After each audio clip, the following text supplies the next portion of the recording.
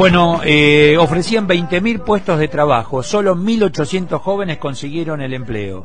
Se trata solo del 9% entre la oferta del mercado y la demanda por un empleo.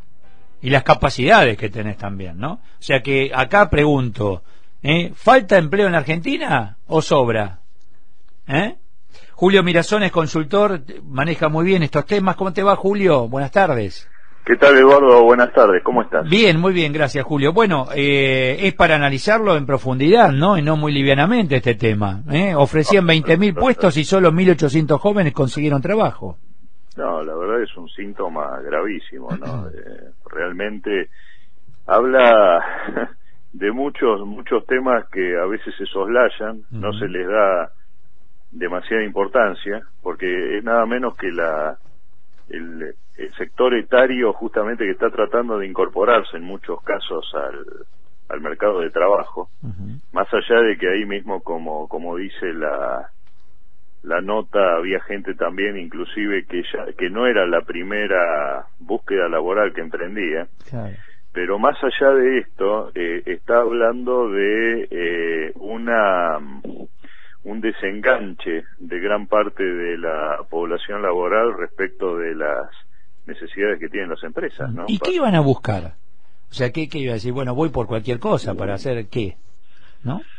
Bueno, el tema es eh, que por allí en muchos casos eh, hasta hasta se desconoce el, el, grado propio de, de, capacitación o de falta de capacitación ¿no? que hay. Eh, en realidad acá eh, inclusive nos habría que ver el Estado en qué condiciones está también de intervenir en esto como para tratar de dar estímulos también que hoy no existen, Eduardo, respecto de la pequeña y mediana empresa en este aspecto, ¿no? Eh, respecto de la de la capacitación y la posibilidad inclusive de eh, ayudar también a las a estas empresas pequeñas y medianas para que a través de distintos incentivos fiscales, económicos, puedan también eh, acceder a créditos como para tratar de, de capacitar a gente que realmente es necesario, o sea, siempre se está hablando... Ahora, vos sabés que hay un caso, eh, me ha contado acá en alguna oportunidad, que eh, la empresa privada eh,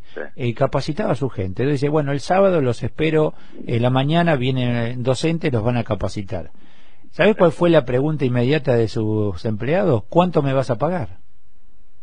No, no, no, a ver, eh, yo te voy a capacitar para que estés mejor. No, no, pero tengo que venir un sábado a la mañana eso eh, y, vengo a capacitarme para tu empresa, no para mí.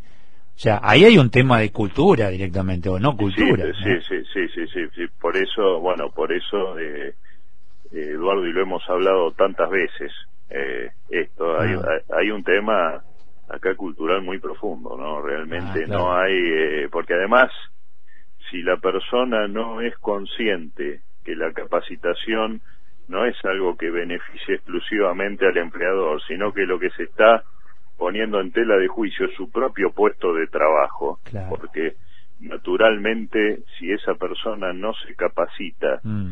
eh, no es que la empresa va a perder competitividad, sino que directamente para la empresa no es demasiado problemático el tema, porque verá la forma mm de tratar de terminar con aquellas relaciones laborales que se le hacen demasiado, demasiado costosas, mm. porque realmente el empleador puede hacer este razonamiento y obviamente es, empresario y dice, bueno, yo, ¿cuánto me cuesta mantener una relación laboral que con el transcurso del tiempo, solamente por el transcurso del tiempo y la acumulación de antigüedad, se me hace más costosa con una persona que realmente no puede hacer frente a las necesidades que le impone el, puesto de trabajo. Y fíjate que eso está llevando a que ese empresario se cierre y diga, bueno, me quedo con la gente que está, eh, optimizo y punto, no crezco, no puedo, puedo crecer, pero no lo hago por esto que vos estás contando.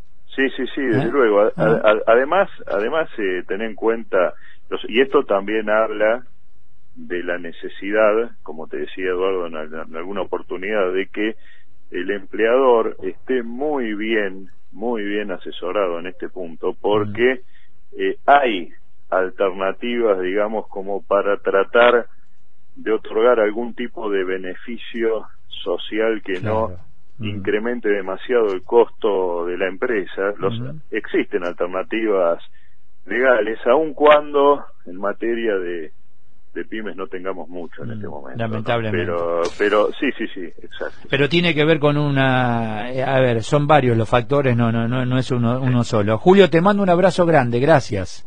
Un abrazo, Eduardo. Gracias, eh, gracias. Julio Mirazón. Bueno, eh, saludo a Fabio Lisenblad, porque es el caso que te contaba recién. Hola, Fabio, ¿cómo te va? ¿Qué tal, Eduardo? ¿Qué decís? Acá estamos hablando del tema, viste la Expo Empleo, ofrecieron 20.000 puestos y solo 1.800 jóvenes consiguieron el trabajo. O sea, eh, sentido común, sobra empleo en la Argentina. ¿eh? Falta gente que esté preparada para trabajar, o por gana, o por capacitación, etcétera.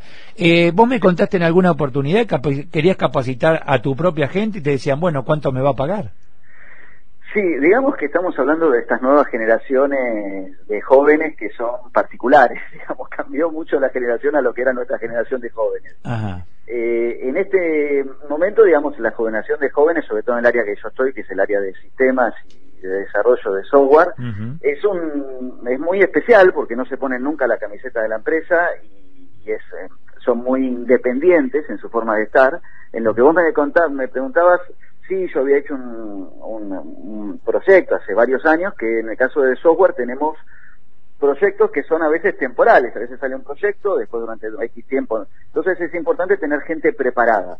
Entonces, ¿qué hicimos? Hicimos una escuela, particularmente, donde preparábamos a programar en diferentes lenguajes, que era Java y .NET, donde les dábamos a determinados chicos que se querían anotar, sobre todo buscábamos que esto se busca mucho en sistemas, se busca agarrar chicos tal vez de sexto año, de los secundarios industriales, labores, es una gran escuela que pues, nos da muchos recursos muy bien preparados de chicos que salen del secundario, donde se los capacitaba y esto generaba que tanto nuestra empresa como empresas colegas que de alguna forma necesitaban recursos, veíamos en los chicos que incluso salían con un certificado y todo de lenguaje, eh, pero esto se cortó a partir de que empezamos a tomar juicios laborales, donde se, consideraban de alguna forma empleados por estar aprendiendo un lenguaje.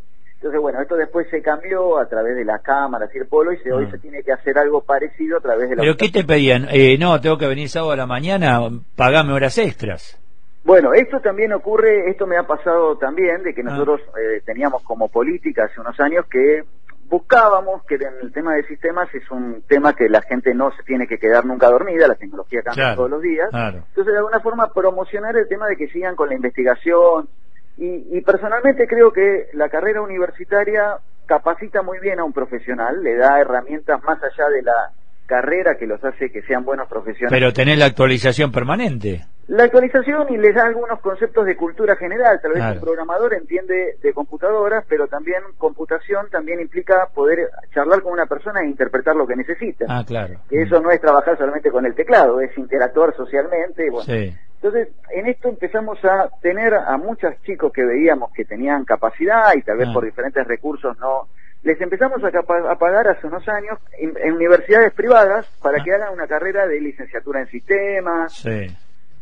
Tuve dos casos de juicios laborales que obviamente las clases que iban, iban un sábado, fue horario comercial, es ah. más, no era una rentabilidad para nosotros, era que se...